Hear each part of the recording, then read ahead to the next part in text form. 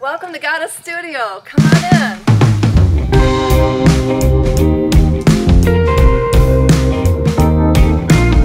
I'm Emily. I've never done a boudoir shoot before, so I looked around, wanted to do one, surprise one for my husband, and I saw Genevieve's and I was like, oh, this looks interesting, goddess, ooh.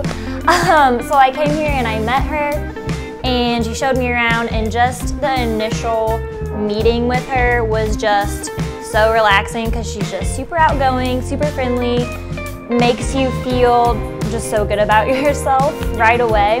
So I showed up here, had some outfits, and you're really nervous being scantily clad and having someone take pictures with you.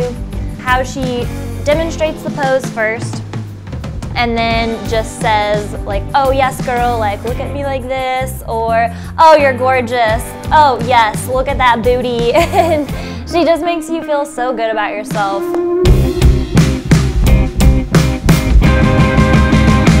Hi, I'm Sam, and I actually met Genevieve through my sister Sabrina, who does hair and makeup for her.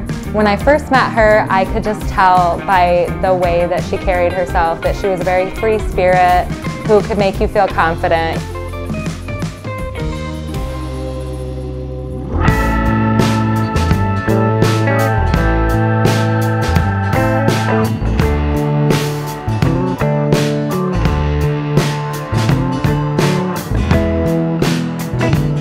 The first session I ever did with her was amazing. She made me feel like a true goddess.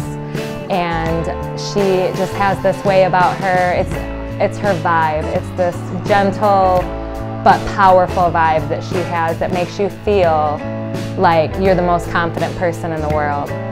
She just makes it a really great experience, makes you comfortable, and she's just so nice. Like, I just keep coming back.